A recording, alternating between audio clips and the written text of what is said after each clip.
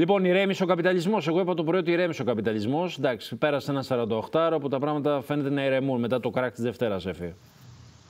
Ε, τώρα πόσο ηρεμία είναι αυτή η Ανέστη, ε, είναι μια φαινομενική ηρεμία. Ναι, έχει αποκατασταθεί τα αξιομαλότητα στις ε, διεθνείς αγορές.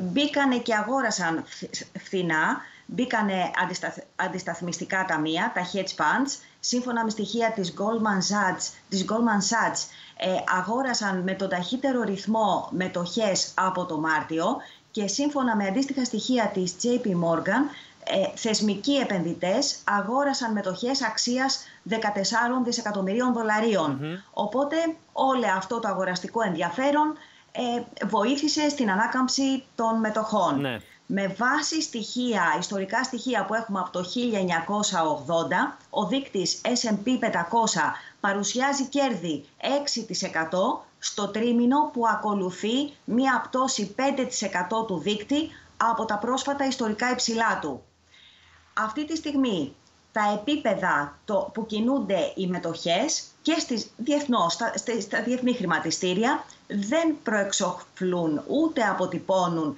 ε, κάποια σημάδια ύφεσης της παγκόσμιας οικονομίας και πολύ περισσότερο της αμερικανικής οικονομίας διότι το τελευταίο διάστημα υπήρξαν έντονες ανησυχίες για σοβαρή επιβράδυνση της αμερικανικής οικονομίας. Τα θεμελιώδη της αμερικανικής οικονομίας παραμένουν ισχυρά και σύμφωνα με στοιχεία του Bloomberg Intelligence, τα κέρδη των εταιριών που έχουν ανακοινώσει αποτελέσματα δεύτερου τριμήνου είναι, αναμένεται να αυξηθούν 12% σε σχέση με την αντίστοιχη περσινή περίοδο. Και από τις εταιρείες που έχουν μέχρι στιγμής ανακοινώσει αποτελέσματα, το 80% έχουν παρουσιάσει κέρδη και έσοδα καλύτερα των προσδοκιών μέχρι στιγμής. Βέβαια, τα ερωτήματα παραμένουν αναπάντητα. Δηλαδή, οι μετοχές έχουν πιάσει κατώτατο σημείο, έχουν πιάσει πυθμένα. Έχει τελειώσει η διόρθωση που έχει ξεκινήσει. Mm-hmm.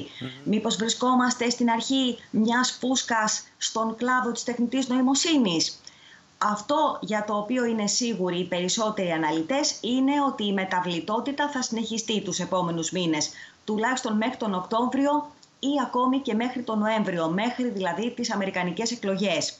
Επίσης, σύμφωνα με αναλυτές της JP Morgan, η ρευστοποίηση των θέσεων στην πρακτική του carry trade θα συνεχιστεί και το επόμενο διάστημα, διότι μέχρι στιγμής έχει ολοκληρωθεί η διαδικασία στο 50 έως 60%, που σημαίνει ότι θα έχουμε περαιτέρω πιέσεις τις επόμενες ημέρες, αν και με πιο συγκρατημένο τρόπο, όχι με τόσο βίαιο ρυθμό όπως είχαμε στο σελόφ της Δευτέρας. Μάλιστα.